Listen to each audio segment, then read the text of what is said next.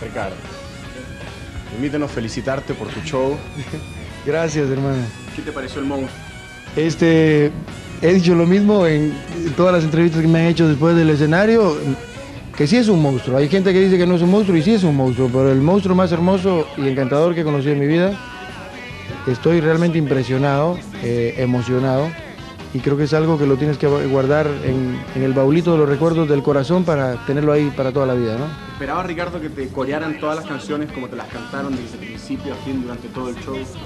Esperaba realmente no traía muchas expectativas porque casi siempre que uno se pone muchas expectativas o se queda corto o son demasiadas, ¿no?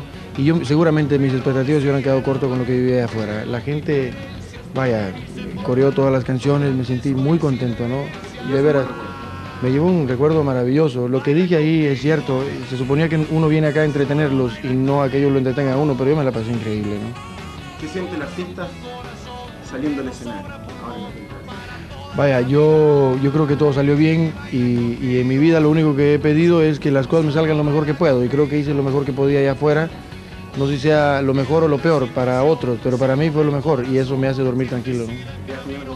Por supuesto. Está viendo mucha gente en sus casas por televisión y en la quinta vez. ¿Qué les quieres decir a? Vaya, que, que todos y cada uno de los aplausos que me dieron, todo ese apoyo que me dieron, me lo llevo conmigo, ¿no? Que no sé si les moleste, pero me estoy llevando un pedazo de Chile conmigo.